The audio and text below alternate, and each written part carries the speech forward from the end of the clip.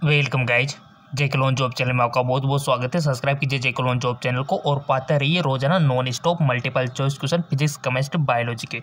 सो guys chemistry यानी कि रसायन विज्ञान के multiple choice question practice question यहाँ पर हम डिस्कस करने वाले हैं। आपके इंट्रांस एग्ज़ाम के लिए बहुत ही ज़्यादा हेल्पफुल है और काफ़ी सारे क्वेश्चंस आपको इसी प्रकार के मिल जाएँगे और काफ़ी सारे क्वेश्चन तो आपको डायरेक्टली भी देखने को मिल जाएँगे। सेम टू सेम ठीक है? तो चलिए, थोड़े बहुत और क्वेश्चन डिस्कस कर लेते हैं। बिना टाइम वेस्ट किए। पहला क्वेश्चन है उस प्रकार के एमाइन जो सिप सार बनाने के लिए एल्डाहाइडो के साथ अभिक्रिया करते हैं, कहलाते बहुत अच्छा क्वेश्चन है एमाइन आपका चैप्टर भी है, रसायन विज्ञान N C R T twelfth आप सब बारी पास करके आए हो। एमाइन आपने पढ़ा हुआ है, प्राथमिक भी पढ़ा हुआ है तो द्वितीय तृतीयक भी आपने एमाइन पढ़ा हुआ है। सो बता दो इसका आंसर क्या होगा? उस प्रकार के एमाइन जो सिप सार बनाने के लिए एल्डाहाइडो के साथ अभिक्रिया करते हैं। The type of amine which react with aldehyde to form SIP base सो इसका राइट ऑप्शन हो जाएगा आपका। प्राथमिक एमाइन प्राथमिक एमाइन आपका राइट ऑप्शन हो जाएगा। चलो आगे। निम्नलिखित में से कौन सा सम्मिश्रण कायरल है? Which of the following complex is chiral बहुत अच्छा क्वेश्चन है।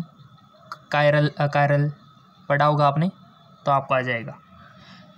सो सिंपल सी बात है तो हर को किसी को आ गया होगा। इसका राइट ऑप्शन है ऑप्शन डी अगला क्वेश्चन प्रोटीन निम्न से बना होता है। बच्चों वाला क्वेश्चन है, देखो। प्रोटीन किससे बना होता है? पासपोरिक अमल समूह से। एमिनो अमल से, कार्बन एवं हाइड्रोजन से राइबो सुगर से किससे बना होता है? एक लगे का आप बता सकते हो? सो गाइज़ प्रोटीन एमिनो अमल से बना होता है। ठीक है? एमिनो अमल से।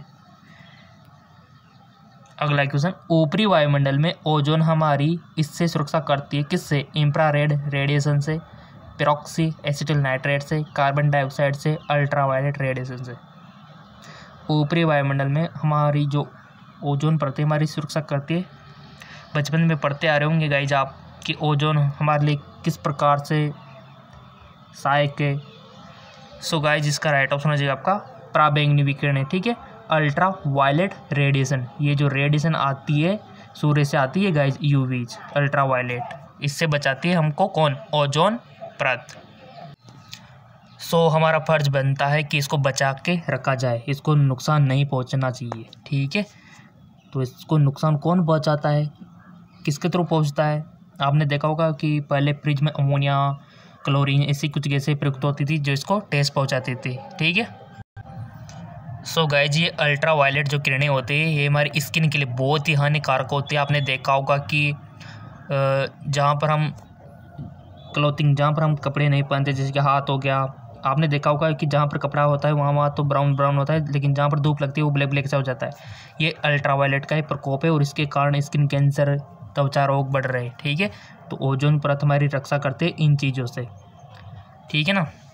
चलता है कि और अगला क्वेश्चन है कि कैल्शियम और मैग्नीशियम आयनों की अधिकता से युक्त पानी को किस रूप में वर्गीकृत किया जाता है? जिसमें कैल्शियम और मैग्नीशियम के आयन की अधिकता है। और आपने पढ़ा होगा सॉफ्ट वाटर, हार्ड वाटर तो। तो यहाँ पर भी ये दिया है कि शुद्ध या फिर हार्ड वाटर या फिर इम्प्योर वाटर या फिर सॉफ्ट वाटर शुद्ध जल और कठोर जल, अशुद्ध जल और मृदु जल। देख पा रहे होंगे आप। तो कैल्शियम और मैग्नीशियम आयनों की अधिकता से युक्त पानी को किसमें वर्गीकृत किया जाता है? क्या बोलते हैं इसको गाइस सो आपने चूज़ कर लिया होगा। इसका राइट ऑप्शन है आपका कठोर जल।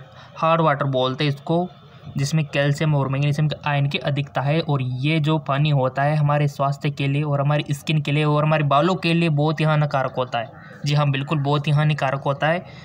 ऐसे पानी से आपकी स्किन पे स्किन डिज़ीज़ होती है, बालों का झड़ना होता है, आपके सिर के बाल बहुत झड़ते कटोर पानी से। जिन शहरों का पानी कटोर है तो उनसे बाल जड़ेंगे जड़ेंगे सिंपल सी बात है। अगर बचना है तो फिर इसके लिए आपको क्या करना पड़ेगा? हार्ड वाटर को अवॉइड करना पड़ेगा, दूर करना पड़ेगा। इसके लिए आर लगाओ, ठीक है? फ़िल्टर लगाओ, काफ़ी सारी प्रोसेस होती है। सो बेसिकली हार्ड वाटर ख़राब ही होता है। ठीक है ना? स्वास्थ्य के लिए भी और बालों के लिए भी। तो यही बेस्ट रहेगा कि आप सॉफ्ट वाटर का यूज़ करो, ठीक है? तो इसका राइट ऑप्शन हो जाएगा हार्ड वाटर जिनमें कैल्शियम और मैग्नीशियम आयन ज़्यादा होते हैं। चलो आगे, क्योंकि हमारी जो स्कल होते हैं ना, उसमें जमा हो जाता है और हेयर फॉल करता है काफ़ी सारा। और ज़्यादातर हेयर फॉल इसी से हो रहा है आजकल शहरों में। और काफ़ी सारे गाँव भी है जहाँ पर हार्ड वाटर अवेलेबल है। अगला क्वेश्चन प्रगलन के दौरान एक अतिरिक्त पदार्थ डाला जाता है तो संग्लीय संहति फ्यूविसल मास का निर्माण करने के लिए धातु की अशुद्धियों के साथ अभिक्रिया करता है, वह पदार्थ है। धातुमल फ्लक्स अदात्री किच्चड़ सो राइट ऑप्शन है, फ्लक्स। अगला क्वेश्चन उस यौगिक की पहचान करें जिसमें त्रिहरा संयोजन आबंध होता है। Ammonia, ethane, ethyne, carbon dioxide. उस यौगिक की पहचान करें जिसमें त्रिहरा सह संयोजन आबंध होता है। तो राइट ऑप्शन हो जाएगा आपका एथिन। ठीक है? एथिन। अगला क्वेश्चन उस अभिक्रिया पहचानिए जिसमें दो यौगिक नए यौगिक के निर्माण के लिए आयनों के विनिमय द्वारा अभिक्रिया करते हैं। वह अभिक्रिया पहचान जिसमें दो यौगिक नए यौगिक के निर्माण के लिए आयनों के विनिमय अभिक्रिया करते हैं। अपघटन अभिक्रिया, संयोजन अभिक्रिया विस्थापन अभिक्रिया विस्थापन अभिक्रिया। बहुत अच्छा क्वेश्चन है। और ये सारी अभिक्रिया आप पढ़ चुके हो तो बता दो आंसर चूज़ कर लिया हो आपने। वह अभिक्रिया पहचान जिसमें दो यौगिक नए यौगिक के निर्माण के लिए आयनों के विनिमय द्वारा अभिक्रिया करते तो राइट ऑप्शन है दी विस्थापन अभिक्रिया। अगला क्वेश्चन आयनिक अबंध की ताकत अधिक होती है जब बंधन इनके बीच बनता है। दो गैर धातु तत्वों के बीच तुलनीय विद्युतीय ऋणात्मक के दो तत्वों के बीच, दो उच्च विद्युतीय धनात्मक कोण के बीच, उच्च विद्युतीय धनात्मक और उच्च ऋण विद्युतीय तत्वों के बीच। तो राइट ऑप्शन हो जाएगा आपका उच्च विद्युतीय धनात्मक और उच्च ऋणात्मक विद्युत तत्वों के बीच।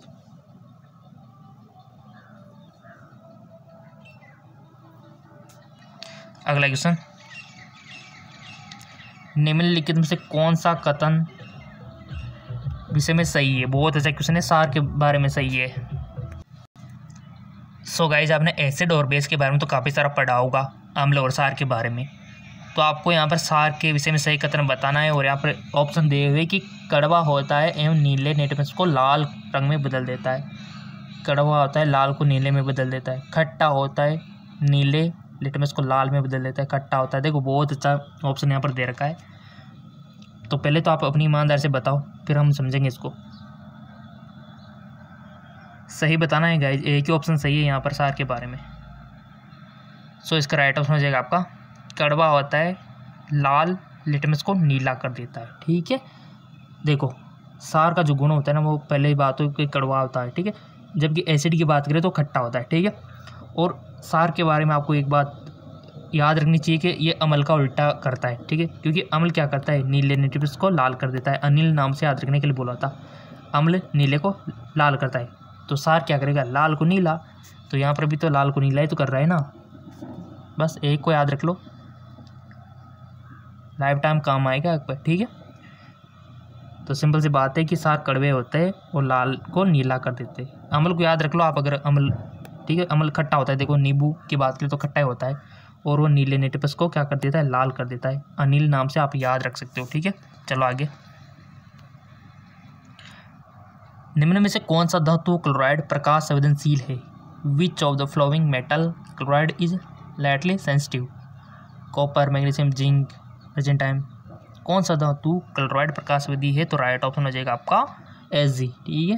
अर्जेंटम अगला क्वेश्चन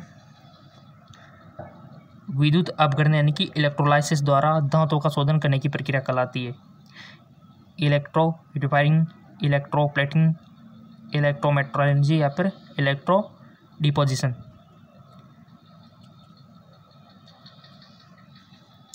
राइट ऑप्शन हो जाएगा आपका इलेक्ट्रो रिफाइनिंग, ठीक है? Electro refining. ऑप्शन पास, ठीक है? अगला क्वेश्चन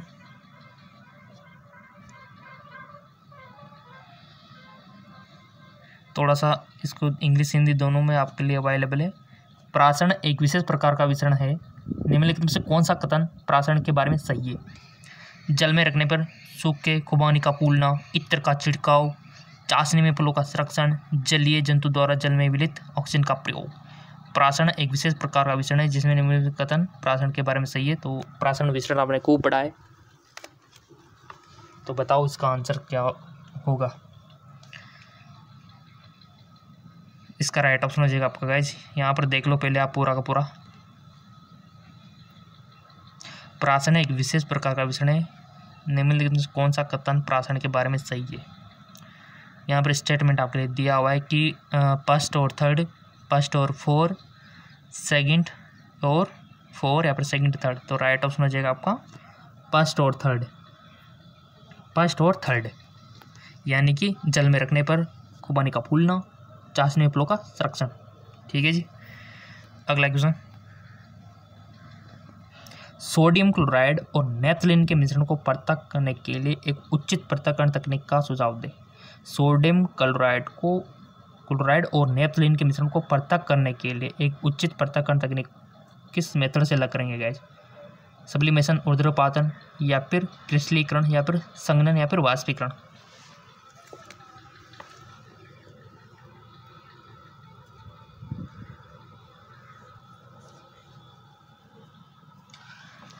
सो इसका राइट ऑप्शन हो जाएगा आपका उद्रुपातन, ठीक है? सब्लिमेशन परमाणु शब्द का प्रतिपादन किसने किया? कातन Democritus, Sukrat, Galileo. Who coined the term atom परमाणु शब्द का प्रतिपादन किसने किया? सो वो किया आप डेमोक्रेटस ने, ठीक है? डेमोक्रेटस ने.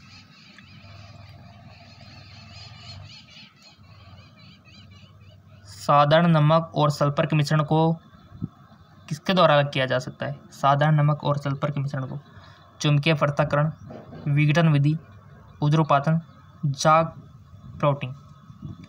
साधारण नमक और सल्फ़र के मिश्रण को द्वारा अलग किया जाता है तो राइट ऑप्शन हो जाएगा आपका विघटन विधि।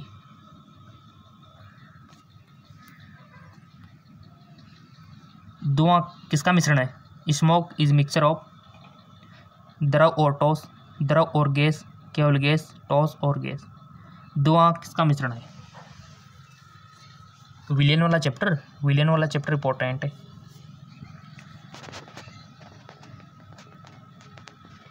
कितने सही जाते हैं, कितने गलत जाते हैं तो आपको डिसाइड कर लेना। इसका आंसर है टॉस और गैस, ठीक है? टॉस और गैस का। टॉस और गैस का। अगला।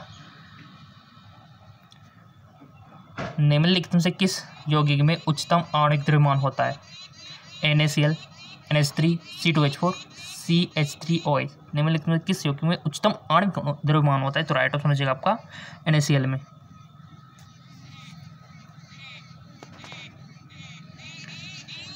निम्नलिखित में से कौन सा एक शुद्ध पदार्थ नहीं है? Which of the following is not a pure substance चांदी, मर्दा सोइल जिसको बोलते हो आयरन वाटर शुद्ध पदार्थ नहीं है तो राइट ऑप्शन है इसका सोइल अगला क्वेश्चन निम्नलिखित में से किसमें अणु की संख्या सबसे कम होती है? एक ग्राम कार्बन एक ग्राम नाइट्रोजन एक ग्राम सीओ या फिर एक ग्राम एच टू अणु की संख्या सबसे कम होती है तो राइट ऑप्शन है एक ग्राम CO अगला क्वेश्चन कैल्शियम ऑक्साइड और देखो ये भी क्वेश्चन अगर आपको कम लग रहे हो ना तो एक और चैनल है G K M C Q M के लिंक इसका डिस्क्रिप्शन में दे रखा है, वहाँ से आप क्वेश्चन प्राप्त कर सकते हो फिजिक्स केमिस्ट्री बायोलॉजी के। निम्नलिखित में से कौन सा एक विजातीय मिश्रण है रक्त, पानी में चीनी, समुद्री जल, कार्बन डाइसल्फाइड में सल्फ़र। वी जाते आपको बताना है। Of the following is a heterogeneous mixture so वो है आपका ब्लड ठीक है? अगला क्वेश्चन एक तत्व के दो समस्थानिकों के उदासीन परमाणु के लिए कौन सी विशेषता भिन्न है? इलेक्ट्रॉन की संख्या, प्रोटॉन की संख्या, न्यूट्रॉन की संख्या, परमाणु क्रमांक। एक तत्व के दो समस्थानिकों के उदासीन परमाणु के लिए तो राइट ऑप्शन हो जाएगा आपका न्यूट्रॉन की संख्या। अगला क्वेश्चन नैदानिक एक्सरे के लिए निम्नलिखित में से कौन से निलंबक का व्यापक रूप से किया जाता है? Magnesium sulphate, beryllium sulphate, copper sulphate, calcium sulphate. Important है question right option beryllium sulphate barium sulphate ठीक है? अगला क्वेश्चन और अभी तक आपने फेसबुक इंस्टाग्राम पे फॉलो नहीं किया तो लिंक नीचे दिया हुआ है फॉलो कर लेना। डॉल्टन के परमाणु सिद्धांत के अनुसार निम्नलिखित में से कौन सा कथन सत्य नहीं है? परमाणु अविनाशी रासायनिक अभिक्रिया में भाग लेने वाला सबसे छोटा कण परमाणु है। सभी पदार्थों के परमाणु सभी मायनों में समान होते पदार्थ परमाणु से बने होते हैं। तो राइट ऑप्शन है आपका। सभी पदार्थों के परमाणु सभी मायने में समान होते हैं, ठीक है? सभी पदार्थों के परमाणु सभी मायने में समान होते हैं। अगला क्वेश्चन संपूर्ण ब्रह्मांड में 99 परसेंट द्रव्य है। 99 percent matter in entire universe toss द्रव प्लाज्मा गैस। बताओ अभी इसका आंसर मोस्ट इंपॉर्टेंट है। और फेसबुक इंस्टाग्राम पे फॉलो नहीं किया है तो फॉलो कर लेना गाइज़ संपूर्ण ब्रह्मांड में 99 परसेंट द्रव्य है, वो है प्लाज्मा। जी हाँ बिल्कुल। पदार्थ की चौथी अवस्था भी आप बोल सकते हो प्लाज्मा है। टॉस द्रव गैस के आगे प्लाज्मा नाइन्टी नाइन्टी परसेंट।